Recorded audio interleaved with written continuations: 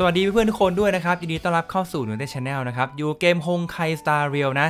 ในคลิปวิดีโอนี้ครับผมจะมารีวิวเซเล่ในสิ่งที่ทุกคนต้องรู้นะครับสำหรับตัวละครตัวนี้นะ ว่าบิวยังไงนะครับ ใช้ skill ลำดับขั้นเป็นยังไง แล้วก็การสวมใส่ของ relic นะ รวมไปถึงการจัดทีมในเบื้องต้นด้วยนะ ถ้าพร้อมแล้วไปชมกันเลยครับเริ่มกันที่ skill ของเซเล่นะครับ การโจมตีปกติของเซเล่จะสร้าง damage Quantum คิดเป็น 50%ของ attack ของเซเล่แก่ศัตรูที่กำหนด1ตัวนะ skill นี้ก็ใช้บ่อยนะครับ เพราะว่าเซเล่เนี่ยจะใช้ skill point ค่อนข้างเยอะนะทำให้บางทีเราต้องสลับมาใช้การโจมตีปกติด้วยนะ ถัดมาครับเป็น skill การต่อสู้หรือสกิล E นะสกิลนี้ครับจะทำให้ความเร็วของเซเล่เพิ่มขึ้น 25%ครับเป็นเวลา 2 turn แล้วก็ damage สร้างควอนตัมเนี่ย 110%ของ attack ของเซเล่แก่ศัตรูที่กำหนด 1 ตัวนะ skill นี้นะครับเราค่อนข้างใช้บ่อยแต่ ผมแนะนำนะครับ เราไม่จำเป็นที่จะต้อง spam skill นี้มากนัก เพราะว่าเอฟเฟกต์เพิ่มความเร็วเนี่ยจะคงอยู่เป็นเวลา 2 turn นะ ถัดมาครับเป็นท่าไม้ตายของเซเล่เซเล่จะติดสถานะ buff ทันที สถานะ buff นี้นะครับจะทำให้เซเล่โจมตีทะลวง damage Quantum ได้แรงขึ้นอีก 20%นะแล้วก็จะสร้าง damage Quantum ครับอีก 255%ของแอ t แทกของเซเล่แก่ศัตรูที่กำหนด 1 ตัวครับก็เป็นท่าไม้ตายที่แรงมากๆเลยนะ ถัดมาครับมาดูที่พรสวรรค์นะครับ Resurgence นะครับอันนี้เป็นทีเด็ดของเซเล่เลยนะ ที่ทำให้เซเล่เนี่ยโจมตีได้ต่อเนื่องมากๆนะครับ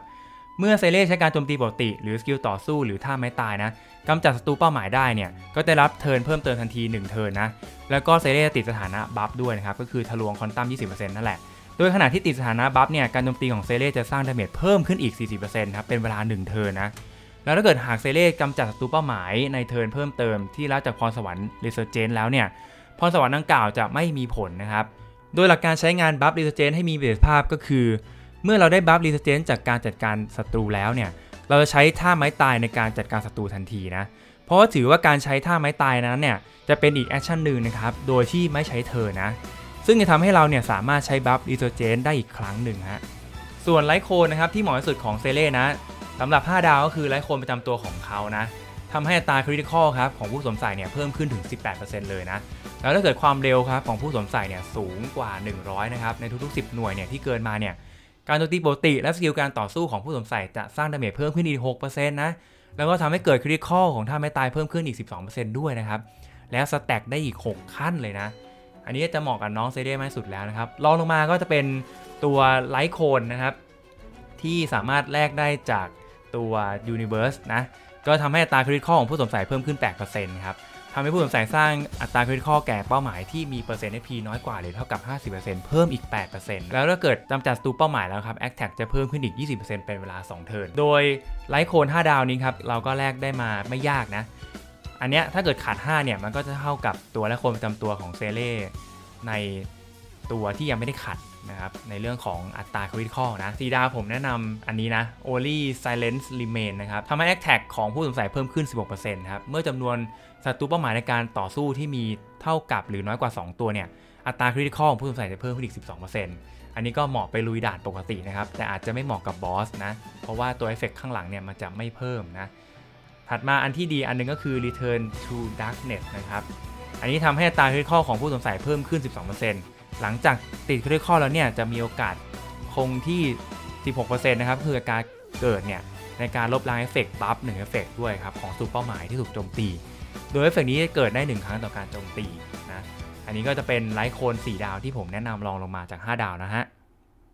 ถัดมาครับจะเป็นในส่วนของ relic แล้วนะครับ เซตที่เหมาะกับเซเล่มากที่สุดเนี่ยก็คือเซตคอนตัมนะ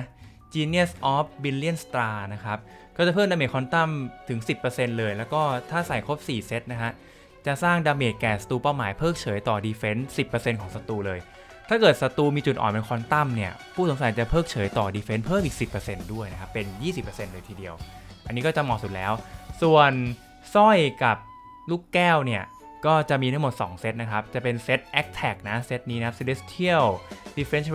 Twitter นะครับจะทำให้ a t t a c ผู้สวมใส่เพิ่มขึ้น 12%นะถ้าเกิดความเร็วของผู้สวมใส่ครับมีมากกว่า 120 เนี่ย a t t a c จะเพิ่มขึ้นอีก 12%อันนี้ก็จะเป็นแบบเน้นเซเล่แบบสายสปีดนะแต่ผมแนะนำอันนี้นะครับสำหรับสร้อยกับลูกแก้วเนี่ยจะเป็นเซต Sol Soto Moving City นะครับเพิ่มอัตรา critical ของผู้สวมใส่ครับ8%ครับ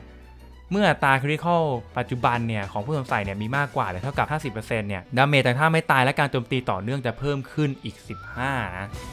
ส่วนออฟรอนครับของส่วนต่างๆนะลำตัวนะเน้นเป็น crit rate นะครับรองลงมาเป็น crit damage รองเท้าเนี่ยเน้นเป็น speed หรือว่า attack ก็ได้ อันนี้ขึ้นอยู่ว่าตัวเราจะบิวยังไงนะ แต่ผมว่าเชียร์เป็น speed มากกว่านะ ส่วนตัวลูกแก้วนะครับ เน้นเป็น quantum damage เลย แล้วก็สร้อยเนี่ยเน้นเป็น attack เปอร์เซ็นต์นะ แล้วก็ในโดยรวมนะครับของเซเล่เนี่ยจะเน้นเป็น crit rate นะครับ แล้วก็ตามด้วย crit damage แล้วก็เป็น speed แล้วก็ attack เปอร์เซ็นต์ครับ ที่เหลือก็จะเป็นพวก break effect อะไรพวกนี้นะ ส่วน relic เซตอื่นที่รองลงมาจากเซตควอนตัมนะครับ ก็คือเซต Musketeer นะ2ชิ้นจะเพิ่ม attack 12%ครับ ถ้าครบ 4 ชิ้น